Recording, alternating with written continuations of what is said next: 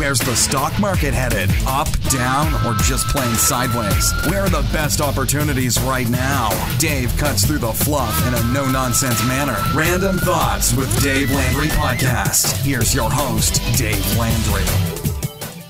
This is your Random Thoughts podcast for November 6, 2015. Seven secrets to trading and one to grow on. Random Thoughts. Through my world travels, I've learned that everyone wants to know the same thing the secret to trading. Everyone wants to make as much money as fast as possible. What you want to hear and what you need to hear are oceans apart. While getting ready for my next trip across the pond, I'm thinking, how do I break the news to these people gently and then give them something they can actually use? Well, maybe there are some secrets to trading. Number one, keep it simple and the trend is your friend. A market can only do three things go up, go down, or go sideways. You can only profit from a trade by catching a trend. You must sell higher than you bought or cover lower than you shorted. So focus on just that finding trends and getting on them. Look at price and only price and ask yourself Self, is the market headed in an obvious direction? And if so, where can I get on? Forget about the wave count, what the stochastics are saying, and above all, the situation in Nigeria. Number two, be consistent. Find one viable trading system and stick with it. I've told this story ad nauseum, but I'm going to keep telling it until you people get it. I used to spend a lot of time programming trading systems. Every day I'd come up with a new system, sometimes more than just one. When I arrived at home, I'd tell my bride, Marcy, how excited I was about my latest discovery, spouting off the statistics. And she would suffer a fool gladly. Then one day she had a question. As you married guys know, sometimes your wife can ask some really tough questions. She asked, How many trading systems do you really need? That was an epiphany for me. You need one. Just one. You need the one that's conceptually correct, the one that makes sense to you, the one that you could follow consistently. If you can't trade one system, what makes you think that you could trade a dozen? Do one thing and do it well. My work is done. Peace out dropping the microphone as I walk off the stage. Well, Dave hasn't left the building. My work isn't done. Most are off to chase rainbows at the first signs of adversity. The flip side happens too. When things are good, people begin to enter early, over leverage, and a host of other bad behavior that comes with the godlike complex. Yeah, I have that t shirt too. Number three, once you accomplish number one and number two, wait for your pitch. Patience is probably the best kept secret when it comes to trading. I often quote Jimmy Rogers, who once said, quote, I just wait until there is money lying in a corner, and all I have to do is go over there and pick it up. I do nothing in the meantime. Unquote. In spite of all my teaching and preaching, anytime I suggest that we sit in our hands, my inbox begins filling with emails. There has to be something we could do. What if we. Trading a methodology properly can often be quite boring. Don't expect the market to entertain you. Go to Vegas or find something else exciting to do if you're craving action. Not only will you have more fun, but it'll be much cheaper than trading yourself into a hole during less than ideal conditions. If you're running money or providing a trading service, you will have some pressures to perform and provide. You must put these pressures aside. If you're a private trader, then you must not succumb to your self imposed time constraints. The market doesn't care about your time frame. Number four, speaking of patience, once you do get in, let things unfold. You come across a beautiful setup. The stock is not only trending, but it's accelerating and persistent in its trend. There's no overhead supply to muck things up. The overall market and sector and most stocks within the sector confirm your analysis. You plan your entry, your protective stop if triggered, and where you will take partial profits. You also know how you're going to trail your stop to hopefully be in the trade for a long, long time. You've left nothing to chance. Big Dave would be so proud of you. The stock triggers, and you're in. However, 10 minutes later, the trade goes slightly negative and you bail. You then watch in anguish as the stock promptly reverses and then takes off without you. Micromanagement is probably the biggest sin that I see. You must obsess before you get into a trade and not afterwards.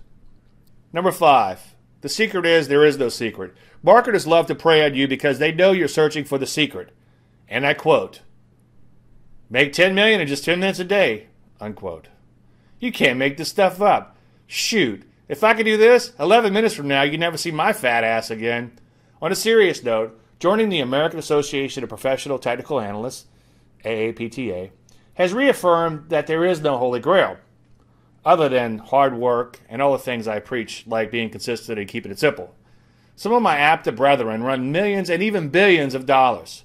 These are some of the brightest minds in the industry.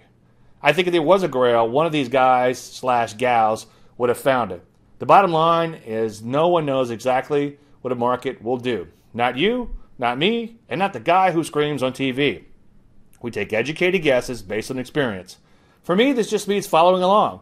And by the way, there has to be something to follow in the first place, either an emerging or an existing trend. Number six, since it is impossible to make a decision, any decision without emotions, reference Scholl Damasio, you have to embrace but not eliminate your emotions. Through illness or injury, the unfortunate who have had the emotional part of their brain damaged can no longer make decisions. Any decision. One decision has no emotional consequence over the other, so they arrive at a stalemate. Therefore, you must embrace and not try to eliminate your emotions. At some point, all trades will go against you. You either get stopped out or give up some open profits in the end, or somewhere in between. On the avoidable adverse moves, acknowledge, accept, and like Martina McBride, just breathe. Refer back to the plan. You do have a plan, right? Provided you have obsessed by picking the best going into the trade and conditions or conducive to your methodology, then cussing and fussing is a total waste of mental energy. And BTW, it won't do a damn thing to help your position. And if stopped out, realize shit happens. Drop an F bomb and move on by shouting next. Tip if you are getting stopped out a lot, either your stock picking could be better or your stops are a little too tight. Number seven, be a student of the markets, but realize that the market can be a really bad teacher. The market is often a bad teacher. It'll encourage you to take small profits before they evaporate, and then the stock takes off without you. It'll encourage you not to use stops because the last 10 times the stocks came right back after stopping you out. BTW. System sellers sell a lot of systems that don't use stops. That'll work until it don't. In the meantime, they, the system sellers that is, make a lot of money I get a lot of clients after the quote, it don't, unquote, happens. Anyway, before I digress too far, the market will also encourage you, as previously mentioned, to exit the first signs of adversity long before the stop is hit. Further, it'll also encourage you to leave your viable system because it no longer works, or worse, switch to the church of what's happening now versus just staying with www.thechurchoftrendfollowing.com. In good conditions, the market will encourage you to leverage up because your system prints money. I can go on and on, but you get the idea. The market often encourages bad behavior. Number eight, you're going to be wrong a lot. Get used to it. You have been pounding the table for the past month saying that the market is in a lot of trouble. Have you ever thought about picking another line of work? I addressed these 30 words at length in a previous column. To summarize, if I was always right, as previously implied, you'd never see my fat ass again, Either that or I'd come back to taunt you a second time. Given the same information, I'd do exactly the same thing. You have to be consistent. See number two. And BTW, I don't want to digress too far, but it ain't over yet. You can't be right every time, but you can be right over time. Whoa, Chief Orman, you really wound up today. Can we talk about the markets? To the markets. The P's, S&P 500, have gone pretty much straight back up as of late. The aforementioned bad teacher thing is rearing its ugly head. This time it's reaffirming the fact that you should buy the dips and hold on no matter what. A new batch comes along every few years. And the latest batch was born in 2009. These people don't know that sometimes you have to be prudent and cautious, honoring stops and taking sell signals seriously. He who fights and runs away lives to fight another day. Surviving to be right over time is key. Anyway, this recent run has the P's overbought and bumping up against previous tops.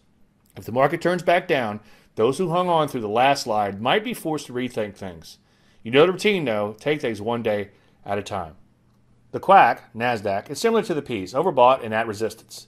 Yes, the market can do whatever it wants, but jumping in with both feet at this juncture is dangerous. As I've preached over and over, it's better to be on the dock wishing that you were out to sea than out to sea wishing that you were on the dock something I can attest to after nearly sinking in the middle of the Atlantic, by the way. So I remain cautious. I think there's a tale of two markets. When you dig through the sectors, things don't look quite as well as the overall market bases the peas and the quack. Many are stalling well short of their prior highs. Some, like health care, health services, and drugs, look like they are in a lot of trouble. The bottoming process of the commodities appear to be just that a process. Metals and mining appear to be on their way to challenge their previous lows. Energies look a little better, but the bottom here also appears to be a process and not an event. I suppose you could look no further than the Rusty, IWM, to see what's really going on. On a net net basis, it has made much forward progress in months, and years, for that matter. So, what do we do? Well, at the risk of receiving more nasty grams, I say we stay cautious. You have to find a methodology and stick with it. Yes, I'm a trend guy, but I don't see a new trend developing until the market can get to new highs and stay there, especially when you factor in the much broader action. I listen to my database. Right now, it's producing a few shorts and a few speculative issues on the long side, and not much else. Therefore, for the most part, let things shake out. There will be times when you have more setups than you can shake a stick at. Right now isn't one of them. Go do something fun and let me watch the markets for you. And if you decide to sit in front of your screens, spend most of your time sharpening your axe by studying the aforementioned secrets of trading. Best of luck with your trading today. Dave. Want to learn more about trading? Visit DaveLandry.com for free reports, articles, videos, and live webinars. Got a question on trading? Email Dave at dave at DaveLandry.com.